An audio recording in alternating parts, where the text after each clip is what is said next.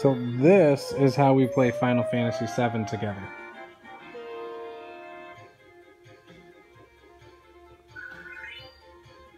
I put on like the battle mode or whatever where it gives her the limit The breaks monsters constantly. are the bad guys. And the healing automatically. You said the monsters are bad guys. Yep.